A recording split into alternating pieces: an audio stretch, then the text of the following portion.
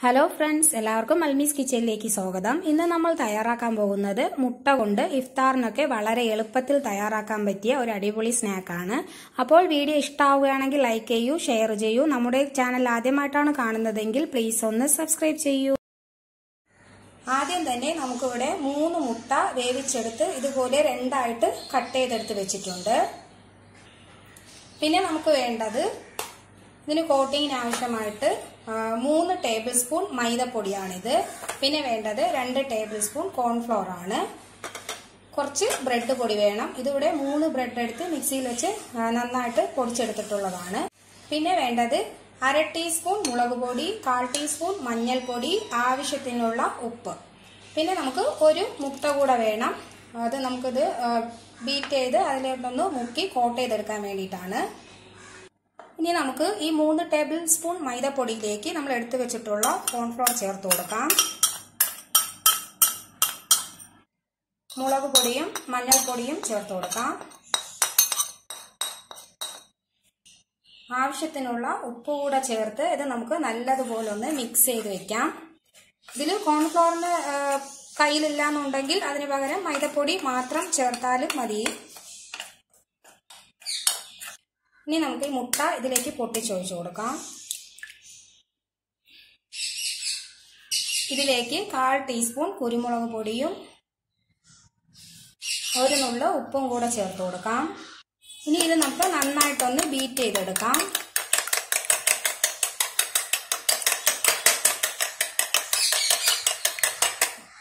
ഇപ്പോൾ മുട്ട നമ്മളിവിടെ നന്നായിട്ട് ബീറ്റ് ചെയ്തെടുത്തിട്ടുണ്ട്.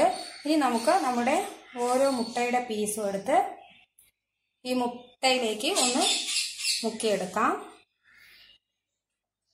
മുട്ടയിലേക്ക് ഒന്ന് ഡിപ്പ് ചെയ്ത ശേഷം നമ്മുടെ മൈദാ പൊടിയിലേക്ക് ഇട്ട് നമുക്കിതൊന്ന് കോട്ട് ചെയ്തെടുക്കാം.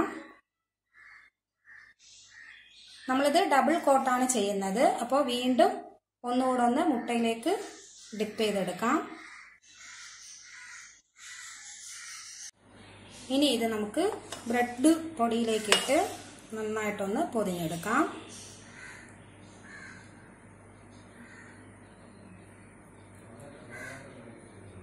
ഇതുപോലെ നമുക്ക് എല്ലാം ആക്കിയെടുക്കാം. ഇപ്പോൾ നമ്മളിവിടെ എല്ലാ മുട്ടയും ഇതുപോലെ കോട്ട് ചെയ്തെടുത്തിട്ടുണ്ട്. ഇനി നമുക്കിത് എണ്ണയിലേക്കിട്ട് ഫ്രൈ ചെയ്തെടുക്കാം. ഇപ്പോൾ നമ്മുടെ എണ്ണ നന്നായി ചൂടായി വന്നിട്ടുണ്ട്. ഇതിലേക്ക് നമ്മുടെ ഓരോ മുട്ടയുടെ പീസ് ചെയ്ത് വെച്ച് കൊടുക്കാം.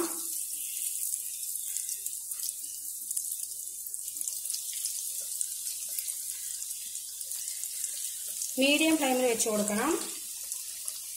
അപ്പോൾ ഇത് നമുക്ക് ഒരു മിനിറ്റ് ഒന്ന് വെയിറ്റ് ചെയ്യാം. ഇടയ്ക്ക് നമുക്കിതൊന്ന് ഇളക്കി ഇട്ട് കൊടുക്കാം.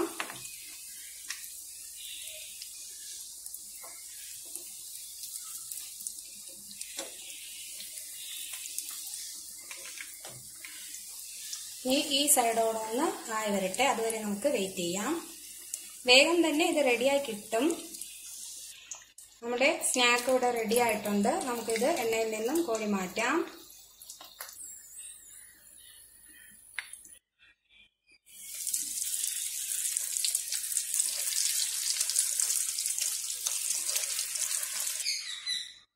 ഇപ്പോൾ നമ്മുടെ ടേസ്റ്റി ആയിട്ടുള്ള എഗ്ഗ് കൊണ്ടുള്ള സ്നാക്ക് ഇവിടെ റെഡി ആയിട്ടുണ്ട്. നല്ല ടേസ്റ്റിയാണ് പുറമെ നല്ല ക്രിസ്പിയുമാണ് വളരെ പെട്ടെന്ന് തന്നെ നമുക്കിത് ചെയ്തെടുക്കാൻ പറ്റും. അപ്പോൾ ഇതുപോലെ ട്രൈ ചെയ്യാത്തവരുണ്ടെങ്കിൽ ഉറപ്പായിട്ടും ഇങ്ങനെ ഒന്ന് ട്രൈ ചെയ്ത് നോക്കൂ. തീർച്ചയായിട്ടും നിങ്ങൾക്ക് ഇഷ്ടപ്പെടും. അപ്പോൾ ശരി മറ്റൊരു വീഡിയോയുമായിട്ട് വീണ്ടും കാണുന്നത് വരെ എല്ലാവർക്കും ഗുഡ് ബൈ